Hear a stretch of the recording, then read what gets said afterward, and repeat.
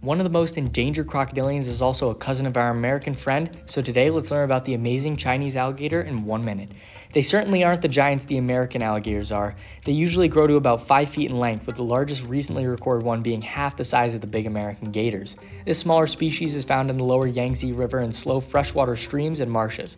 Like most crocodilians, the species is opportunistic, so it will take down waterfowl and rodents when possible, but it usually feeds on snails, crustaceans, insects, and fish. Females lay up to 48 eggs, but usually it's closer to 20. Due to human persecution, the species tends to spend most of the day in elaborate tunnels that it constructs with different rooms and pools to rest in. They also spend their time there during the colder months of the year and only reemerge in early spring.